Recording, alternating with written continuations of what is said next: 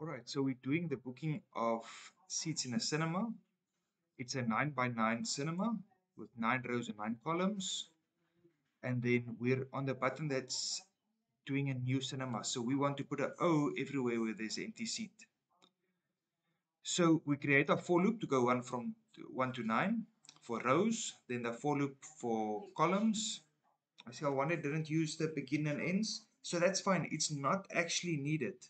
But if you wanted to put them, that's also fine. So um, if you feel safer to have them, then put them. Don't worry about that. And then you'll see your indentation. Just maybe fix. But because it's only one line, technically it's not needed. But I would, if you're not 100% sure how it works, rather put the beginning ends always there. It's just the safer route. All right, then what is done here is the O is allocated and the hash 9. So the key thing I want you to remember what what is inside array seats i row i column at this stage is basically so inside him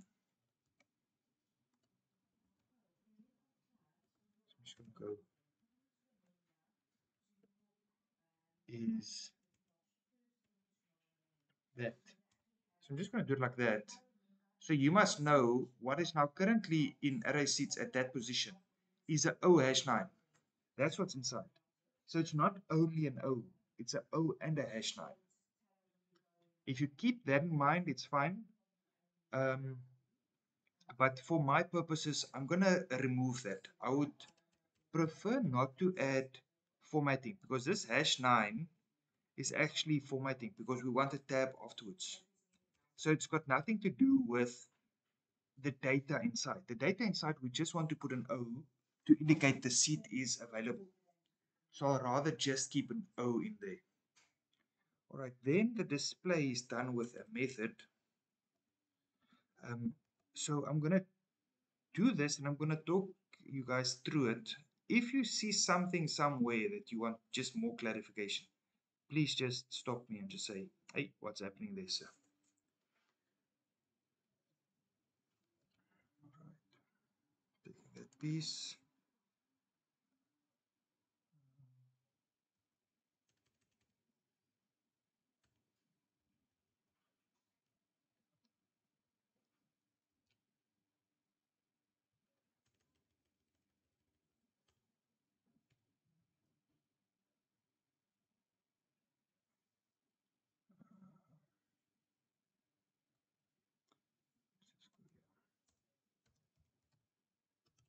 Procedure display.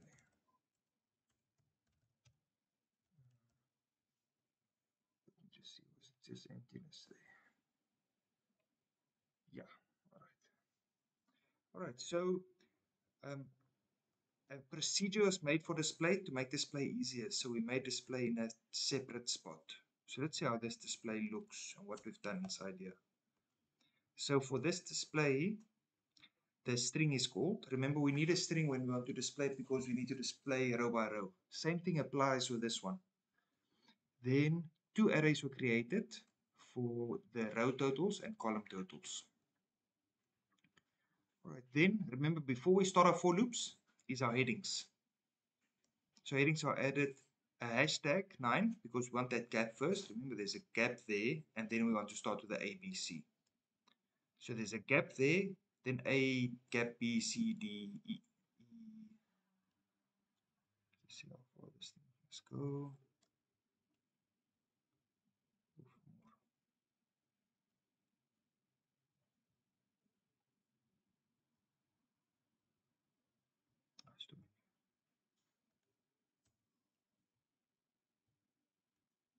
I'm just going to separate it there. Um, I see there's a space before the F, so that's not needed necessarily at the H. All right, after the A, the D. All right, so step one, we put the headings in. I think everybody sorted sorted with that. Then as soon as we start our row for loop, now we're starting each row. So now what we're doing, so this heading is done. now I want to start this row. So I have to say row one, so the row header and then everything. So, and remember our for loop, our for loop starts at one. So we can display just that for loop variable because that would be a one, then a two, then a three, then a four, and then add the hash nine to make it a nice column. So at this stage, we're going to do the hash nines because this is our formatting. All right, then with this one, um, let me just see what was happening here. So, so then we did our for loop to go through all nine columns. Um, going to go through the nine columns. Then the display is the display plus that.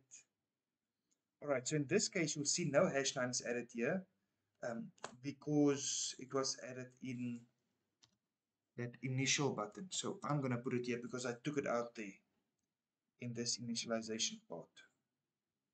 All right, so I'm going to add my hash line there. Then if column is 3, 6, 9 or 12, then add another hash line. Oh, so um, I don't know if I indicated. Oh, maybe it looked like there's something more happening there. All right, so I just typed it in manually, so there wasn't actually a, a reason for being wider somewhere.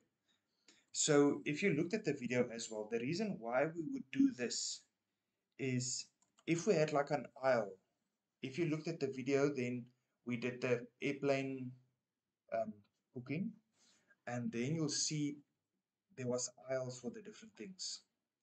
So with this one, if the cinema also had an aisle in the middle, then we would do this. Um, I think at this stage we're not working with the aisle. So I'm gonna I'm gonna maybe take it out, but I'm, I'm gonna leave it here and then just add on here. This is only when there are aisles. Alright, so if we wanted an aisle in the cinema, then we would add this piece. So you'll see they just looked for specific if the column was 3, 6, 9, or 12, it added an additional hash 9 just to add an additional tab. Um, but we don't need that one, so that's fine. So I'm going to remove that one just. Then, um, oh, see with this for loop, the column for loop, there's no begin. So to do this one, hmm, because there wasn't a begin there, this if was actually outside the for loop. So that meant this never actually happened because it could never check for those ones because it's outside. And remember this for loop only goes out when the i column is 10, then it goes out. So it only checked for 10 and there was never a 10. So this never actually happened. So you must remember you actually wanted a begin there and you wanted an end. Uh, end. So you forgot that begin and end. I'm not sure if that maybe confuse some of your coding. So did I lose somebody somewhere already? What we want to do now is with this one, it, we want to display the row totals.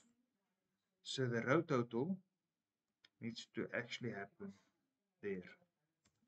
The row total needs to happen after the total is done. Ach, after the row is done. So we adding the row header, then we're adding all of the information with the nine columns. So when we're done with that, then we want to add the row total and display the line. So this would work perfectly. Then when we end this one, this is the, that's the end for that one. Oh, there's an extra begin here.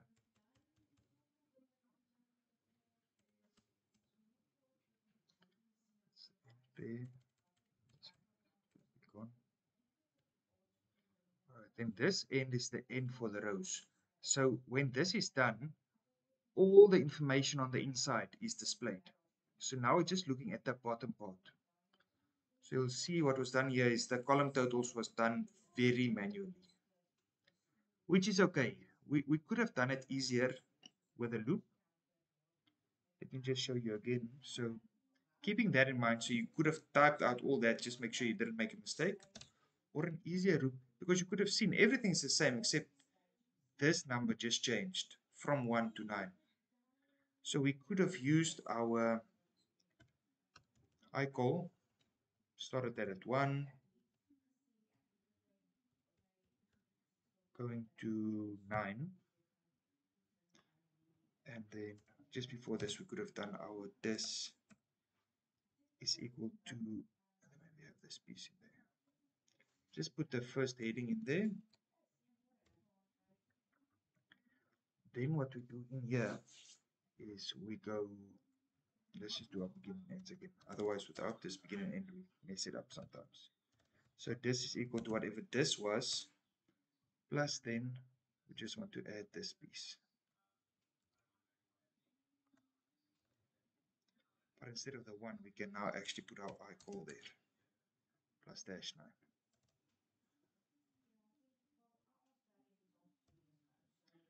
Uh, so then when that is done, we just do our three display lines without this. And then when you do this, then this is not needed.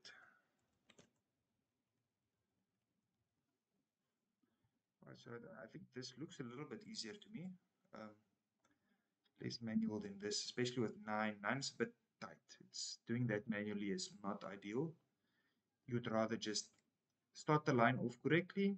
We want to do this nine times. We add the nine column totals and then we just display all of them one time. All right, let's quickly see how this works and if it works. So new movie, so we click new movie and then everything looks alright except all that ugly stuff. So why is all this ugly stuff here? Do you guys know?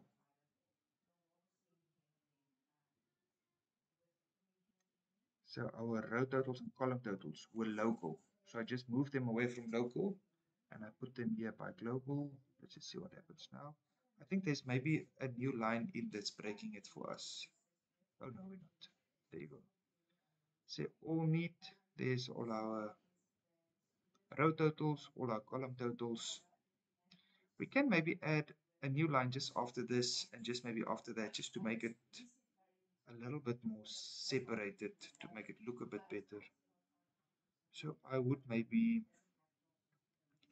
in this part just say hash 13. No, no, not there. Uh, after this. Plus hash 13. Just after the titles, just put a new line. And then maybe just before we display the total. Hash 13 plus so you'll see the only thing is we just made it so it stands out a little bit more. So you just made that gap there. Row totals, column totals, all zeros because all the seats are empty. Um, because we didn't do the totals yet either. Um, Alright. Now let's go booking a seat. So now this one I said, ask the user where he wants to sit check if the seat is available, put an X. Um, if not, ask him to choose a new seat. So there's basically your instructions you should follow for this booking of a seat. So let's quickly see what you can do here.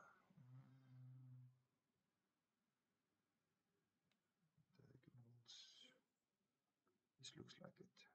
Booking of a seat, yes.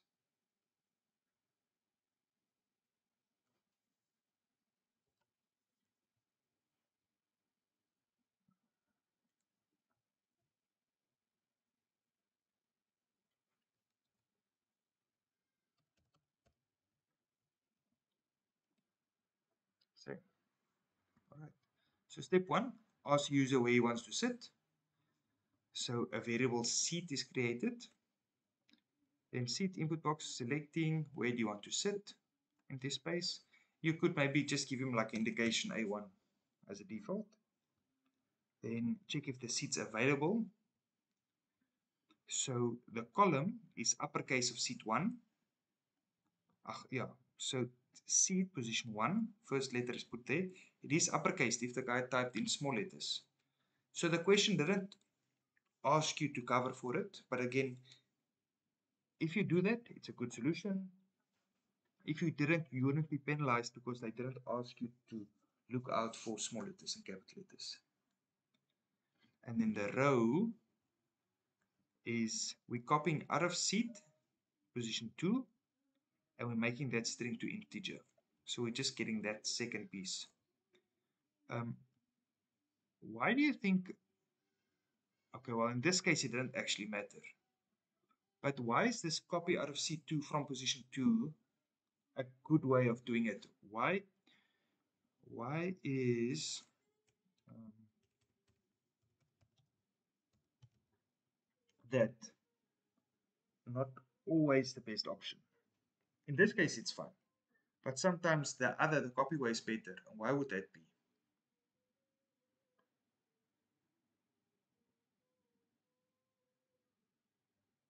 All right, and basically, yes.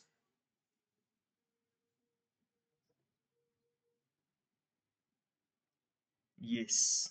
So in this case, it worked because there was only nine rows. So it can only go from 1 to 9. So the person couldn't actually choose 10 or 12. But if it was a bigger cinema with more rows, then the copy is better because now if it's a 10 or 12 or 13, you don't just want the one, you actually want the double digit. So in this case, this is fine, but generally this is the safer option, especially if they might be, if it's like A23 where they want to sit, then you want to take the whole 2 and the 3.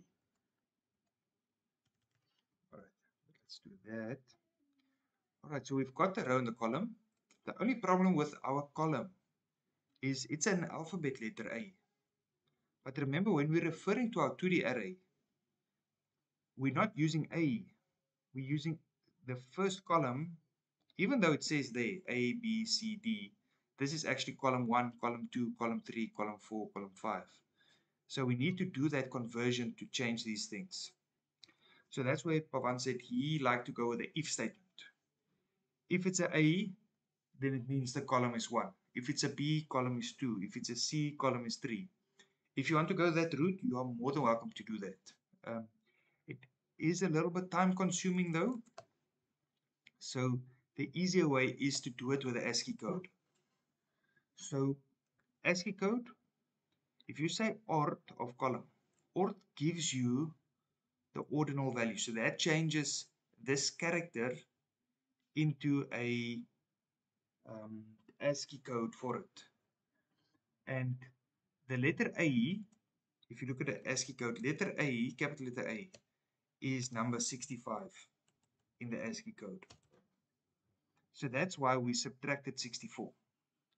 If the person chose A, which this would give you 65, minus 64 means there's a 1. So now we're working with column 1, which is correct. And if it was B, your ASCII code would be 66. So then 66 minus 64 is 2. So then the column is 2. So this would work out nicely that it would always give you the correct column number from there. But you needed to use uppercase because the capital letter A is 65. Capital letter B is 66. If it was a small letter A, uh, I think it's 96. I'm not 100% sure exactly where that lies, but it's around about there. So this is a nice way to work with these characters and that position. As I said, you don't necessarily need to know this. If you went the if statement or even with a switch case, that's also fine. It really doesn't matter. All right, now we've got, so I row is where the person wants to sit in the row and I column is the column where the person wants to sit. So remember the question was, then check if the seat's available. So check if the array seat at position i row i column. If it's an x, so I'm just going to go capital x, then show message seats already taken. Otherwise, put an x in that position. And then you just display again. All right, let's see how this works. So now we say new movie. We have to put all these O's in first. Now book a seat. Let's put an A1. And then we get our first edit. Well done.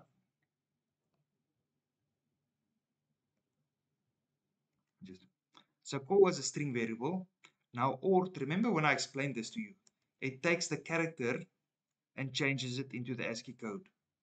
But by putting the whole string in there, even though there is only a character inside the whole string, it converts the letter that's there plus I want to select the spaces next to it into ASCII code, which is not what we want. So that's why I just went and I just said, all right, just take out the first character from there. So what this basically does, this changes the string into a character because this extracts a character. Now I'm getting the character value from that one. And I'm subtracting 64. And then you can see this thing worked out nicely. So I can actually delete that now. So now if we go new movie, we book a seat A1, then the X is there. We can book another seat C6. You'll see there by C6 is the X. If we book A1 again, to tell us C is already selected, and just select again. Yeah, and then that is it. So this one we can take out.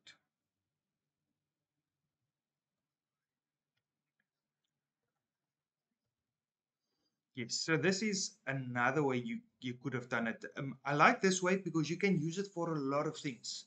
Sometimes if you're looking for even numbers and whatever, you make a string variable, you put all the options you're looking for in that, and then you're just looking for the position of the thing you're looking for inside this string. And that will tell you where it finds it. So you can even use this if the question asks you, are there any plus, minus, stars, or dashes within a string, then what you do is you just create your this thing and you put all your plus, minus, stars, slashes, and whatever other things. And then you can say, find the position of that thing, and then you can have a if. If that I call is greater than zero, that means it found it somewhere then you throw the error message or whatever they want you to do with it. So you can just check if it's found, then it will be greater than zero. If it can't find it, you'll actually get a negative one answer. So yeah, so this is a nice way to also, I want to say validate text or anything like that. You can use this like in your path as well if you want to just validate inputs to make sure there's no special characters or only numbers so you can put numbers and then you can make sure that it is greater than 1, or greater than 0. Otherwise, you give an error. If it's not found, then you give an error because then it means it didn't find that thing. So if the I call, if it finds that thing within this thing, you'll get the position of it. So it will be a 1 or 2 or 3 or a 4 or a 5. So if so if it's greater than 0, it means it did find that character. It is there. So that's the nice thing. So then you can, like in this case, if you didn't want this, you'll say if it's greater than that, then in here you'll do like your show message and and you'll say something like error because you didn't want those things. So if if it finds your character that you gave it, inside this string, then you want to give it an error because you didn't want special characters. So, yeah. Or you can do the reverse. I mean, if this is right, then you'll say, okay, now do this code because you found it. Maybe like a, even sometimes with a email, you can look for the at to see if the at is inside it. And then it's fine. So, yeah. So keep it in mind. Depends on your question. It, it's really if they want you to specifically look for something or specifically look that something is not there, then it's nice to give yourself the option. Sometimes even if you put the whole alphabet in here, it's also nice to whatever you need to do with it. Yeah, I don't know if that answered your question though. Is it? All right. let me quickly just undo everything. So I'm going to leave this one here because I think the ASCII one is I would say a bit more challenging because we can't always remember where does the ASCII code go. Uh, yeah, that one's fine. This we can take out again. So I'll leave the ASCII code one there just for interest sake. But then this is a nice other option of doing it. Alright, so with our totals, we don't need to create it here now because we made them global, so we don't need them there. Alright, then what we did here, because it's global also, we didn't need to initialize all of them, so we saved that time as well for making them global. So now we just want to do the totals. So we do our for loop for our rows, for loop for our columns. Now the only thing is, if there's an X in this seat at position row and column, then the row total should be added 1 and our column total should be added 1. So, okay, I can see the two different ways. I think I did it differently, or I did it like this also in my previous program, to show you you could use either one. Because remember now, we're just checking if there's an X. If the seat is taken, we want to add one to the row and want to add one to the column. So you can use your increment or you can just do the manual. Either or. Um, they can, you don't need to use like one or each. Just show. So this could have been your column total. Um, I call our column total. And then you did not need this or you could have done this for also for both of them where you could have done the L total with your row. So you could have done this as long as your column total uses your column variable. So your column total column variable, column total column variable, or row total uses row variable. So these two does exactly the same. This thing does exactly what that one does. This one does exactly what that one does. So whichever one you remember and seems easier for you, you can use. It really doesn't matter which one. Alright, then what we could have just added here maybe is then just call the display afterwards. So let's quickly see how this works.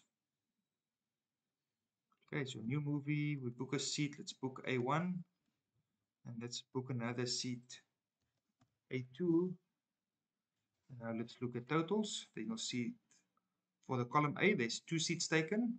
For row 1, one seat. And for row 2, one seat. Perfect.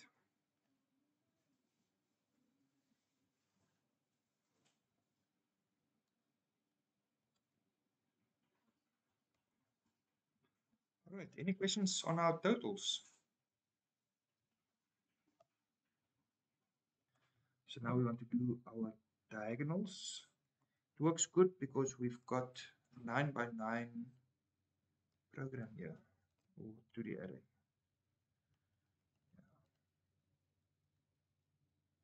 All right, let's look.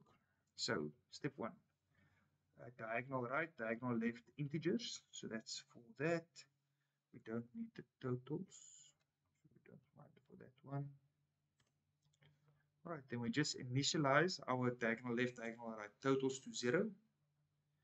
We're going through the 2D array, so our two for loops. But now remember, we want to check if there's an x. So only if the seat has an x, then we want to see, all right, does it actually apply? So now, if the row is equal to the column, then we can increment our diagonal left. So if the row is equal to the column, so if it's that one, then we add one to the left one. And if our row plus our column is equal to 20, should this be 20 though? What should this be? What should tell me? Yes. Remember, so there's nine rows and columns. So this one should be just one more than that. So it should be 10 because if row is 1 and column is 9, it's part of it, so it's one of that column. So we're looking with that diagonal that works like that. Then the only thing that was forgotten, yes, it was never displayed actually. So let's do it with a show message. And we can just say um, left plus our into string um, DL.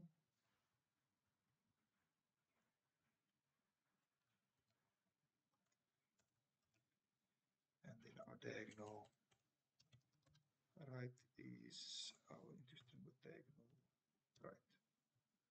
Alright, let's see how this works.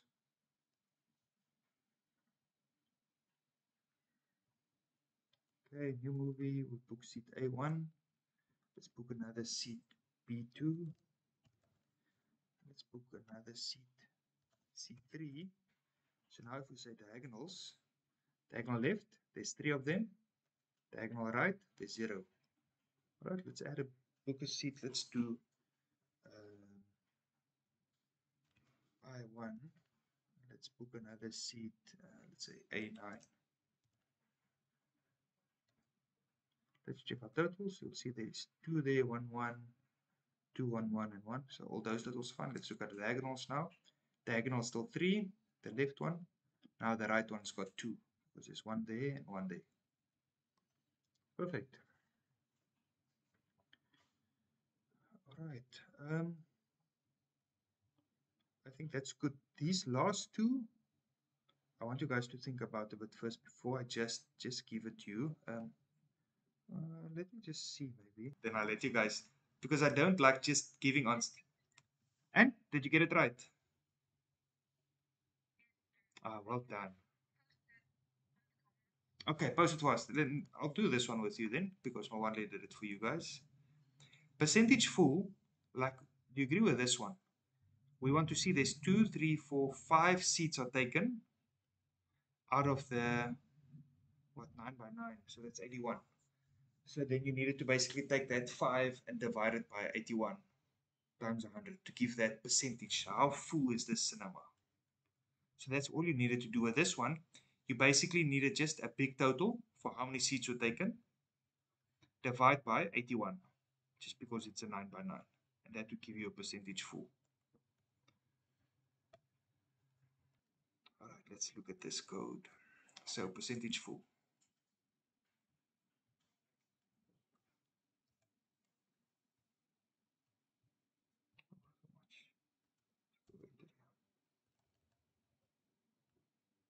Let's see what happens.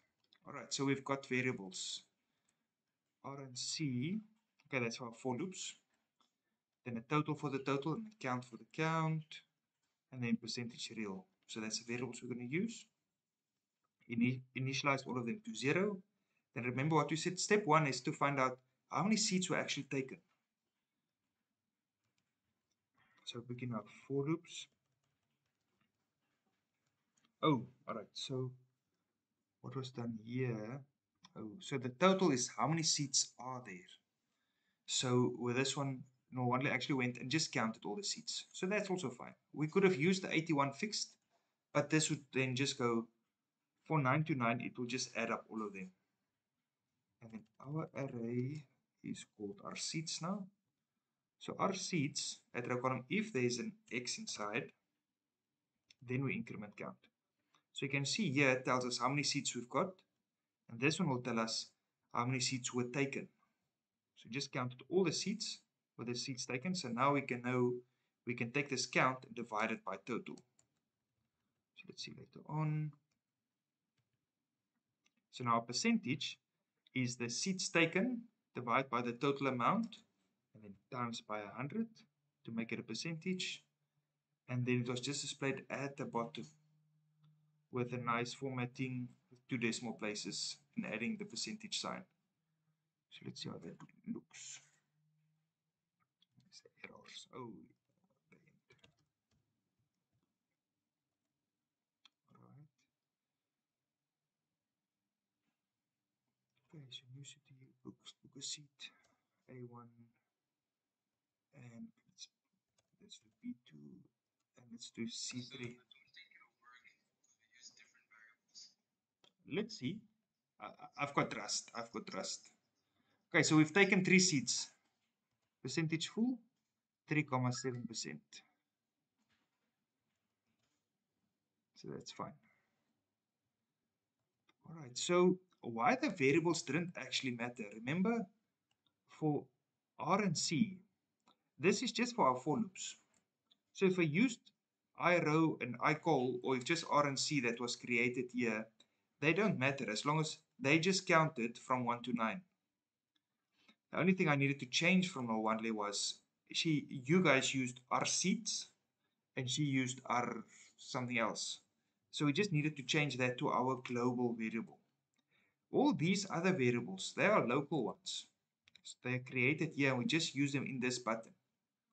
So nothing else matters basically. Um, we just needed to make sure that we're using our 2D array. And then our for loop variables doesn't matter, they only exist here. We counted how many seats was taken, uh, how many seats was taken, how many seats were there, and divided them and displayed it into our, so our component names are important, and then our 2D array name. So only your global variables need to be the same. These local ones you do, you can call it whatever you want to, it really doesn't affect the coding. Um, yeah, so this nice answer. Any questions anybody got about this?